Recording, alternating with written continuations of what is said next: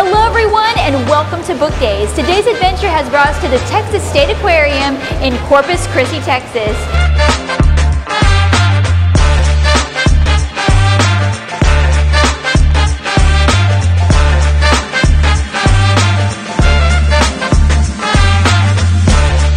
Today's adventure is inspired by the book Commotion in the Ocean, written by Giles Andreae, illustrated by David Wojtowycz.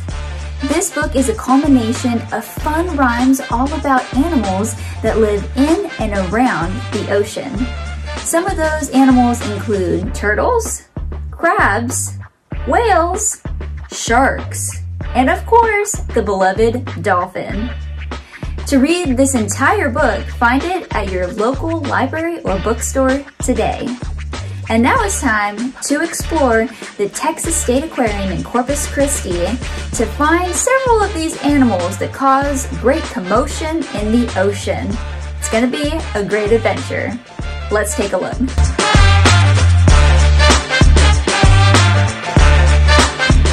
Am so excited to be here at the Texas State Aquarium in Corpus Christi, and I'm joined today by Kara. Thank you so much for being here today. Thank you, I'm really excited. She is the conservation and animal wellness specialist here at the aquarium, and I am so excited just to learn from you all about the different species in our book today. So I will just let you take it from here. Okay, I am really, really excited. This is one of my favorite exhibits at the aquarium. Right here front and center, we actually have one of our southern stingrays. These are a very large species. She is probably two and a half to three feet in width, and she's actually the smaller of our two in this exhibit. Ooh. Her name is Little Ray. Then coming right behind the shipwreck, maybe there she goes over the rockwork is our larger one and her name is Big Mama. She's probably closer to four feet in width.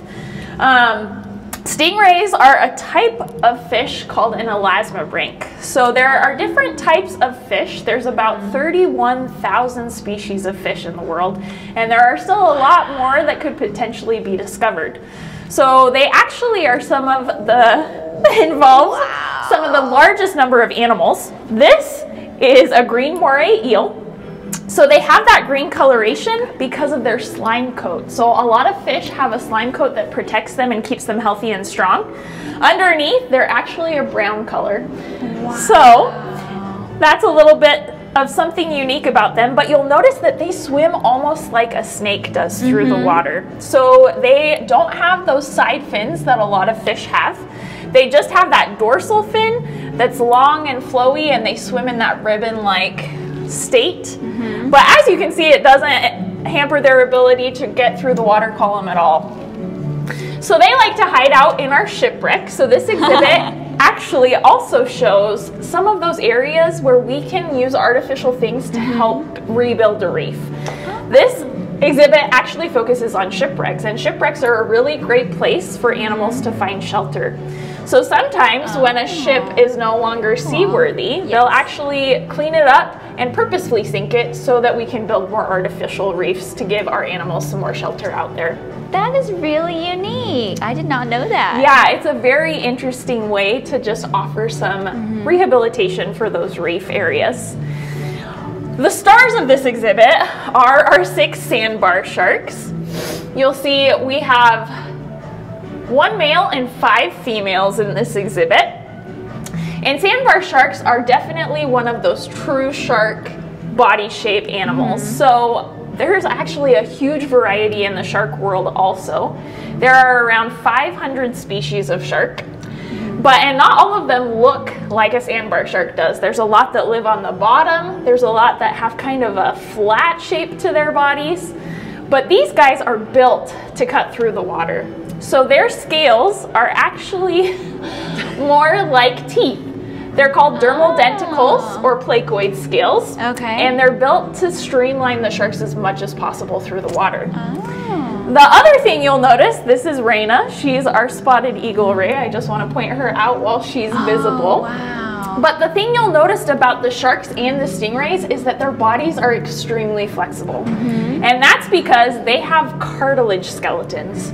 So there are not any bones in their bodies.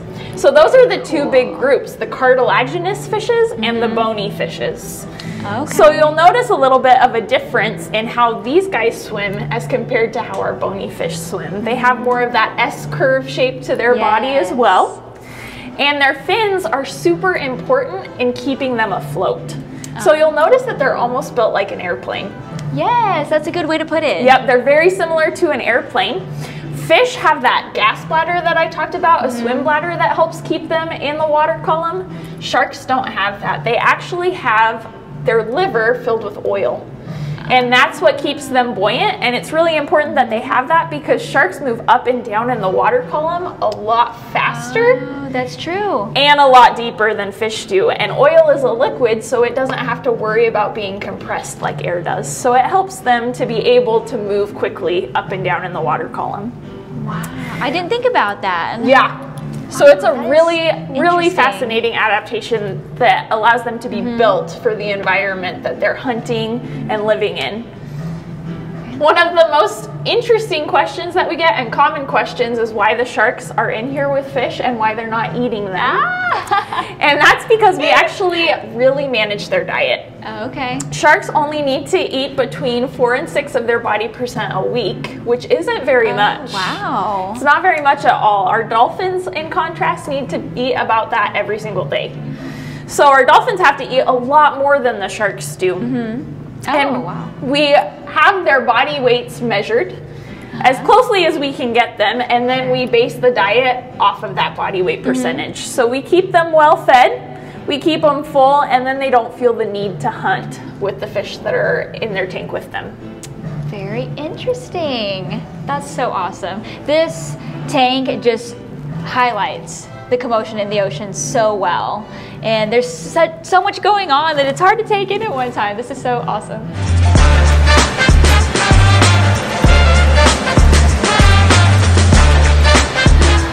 Wow. Yeah, so these are our three southerns.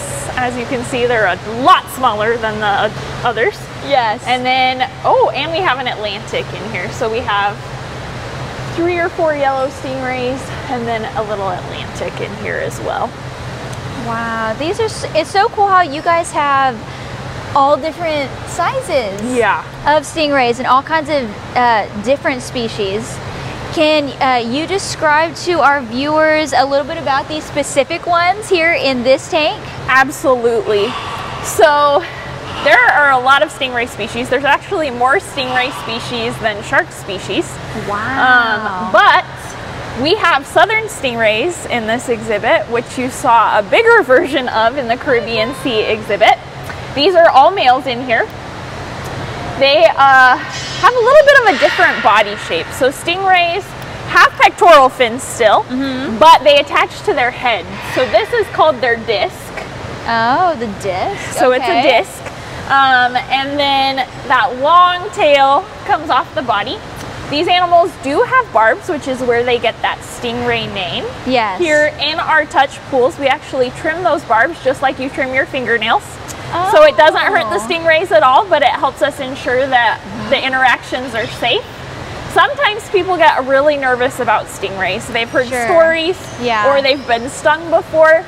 Aw. And so having a touch pool like this is a really great opportunity in a safe setting for mm-hmm. people to actually overcome that fear. Yes. So one of the things that we always talk about for people to stay safe around stingrays is that when you're out at the beach, you want to do what we call the stingray shuffle. And all that Oh. means is that as you walk through the sand, you're just going to drag your feet instead of picking them up and placing them because as you do that, Stingrays have an ama- and sharks actually, but both have an amazing ability to sense vibrations and electromagnetic fields. So as you drag your feet, they can sense you a little bit sooner. Oh. And Yeah. if they don't sense you, you're gonna come up under them instead of stepping on, top. them. So anytime that someone gets stung, it's usually because the stingray get, feels a little bit threatened. That's interesting. So that's how you can stay safe with stingrays. On this side of the exhibit,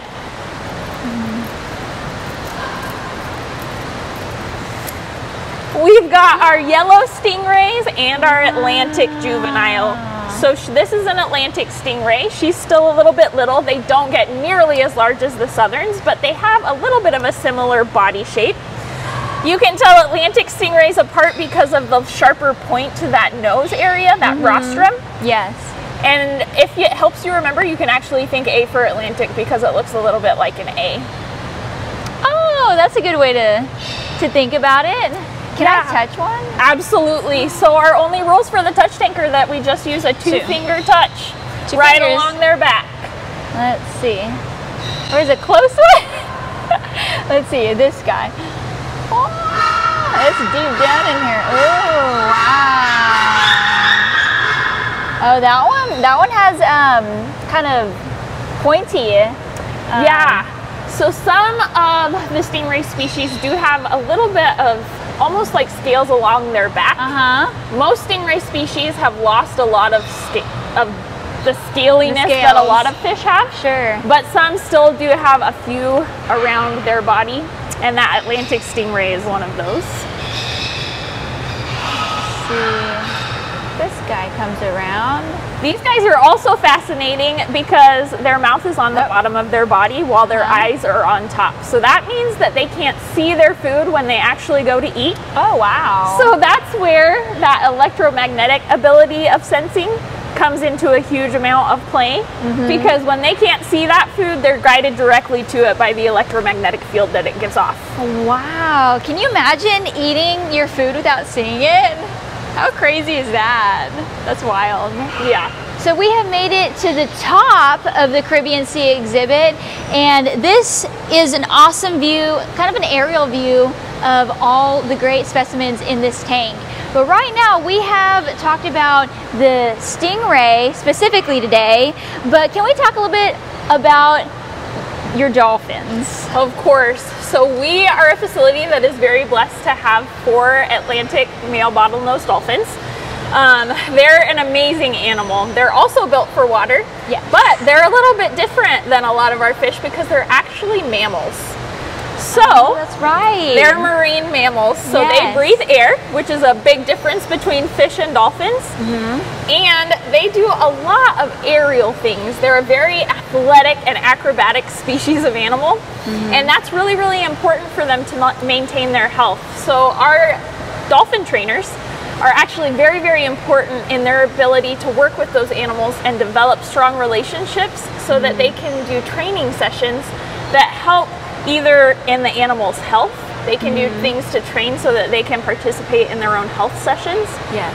and to just keep them active and mentally stimulated. They're a very smart animal and they need interaction and they need stimulation all the time to keep them healthy and strong. So that's one of the amazing things that our dolphin training team gets to do every day is to help keep those animals healthy and strong and having an enriching life here at the Texas State Aquarium. I love how joyful and jovial the dolphins are. They're just so fun to be with. It's like they have their own little personalities. They really do.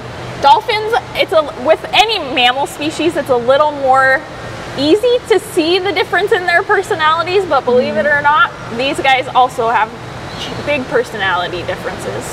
Oh, wow. That's really interesting. Think you've seen it all? Not even close. Let's go find some more commotion in the ocean.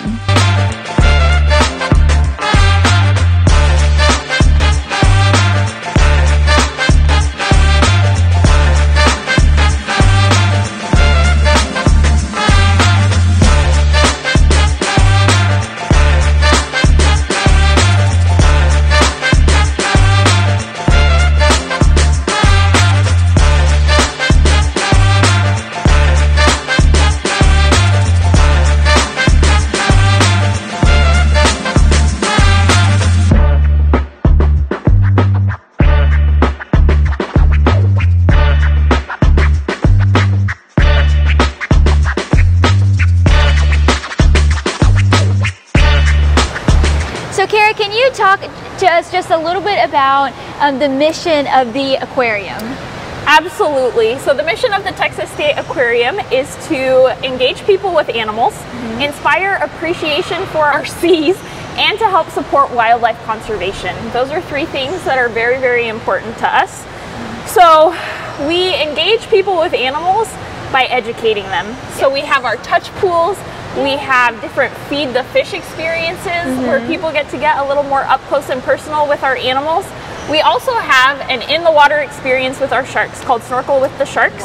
And that's another great opportunity for people to experience sharks in a safe manner mm-hmm. and maybe help overcome some fear and some of those myths that we hear about sharks a lot of the time. As far as inspiring appreciation for our seas, all you have to do is walk through the doors. You get to see these incredible animals. You get to just enjoy them, and it really can be inspiring. My own desire to enter this career started at an aquarium, and I was four years old, and it started the dream, and I've been very blessed to pursue this career. Um, and then, as far as supporting wildlife conservation, we do a lot with different species around the area. Our ocelots are a great example. Mm-hmm. Texas ocelots are pretty severely endangered, and we have two ocelots here at the aquarium, and we're going to be able to hopefully help in that situation so that we can keep the Texas ocelot population healthy and sustained for a much longer period of time. We also have the opportunity to participate with scientists in some different studies that they're doing. Oh, wow. So that also helps with wildlife conservation because then scientists are able to either compare what's going on with the animals in the aquarium mm-hmm. to those that are out in the natural environment. Mm-hmm. Or we've even gone out and done surveys of animals that are out in the bay so that they can just get a better idea of what's going on out in the natural world. So it's a really great opportunity for us to help participate in all of those areas. This has been an incredible visit to the Texas State Aquarium. Thank you so much for having me today. Thank you for having me. We've really enjoyed it. And don't forget to subscribe so you don't miss any of our upcoming adventures. So we'll see you on the next adventure. And remember to always keep reading. We'll see you soon. Bye. Bye.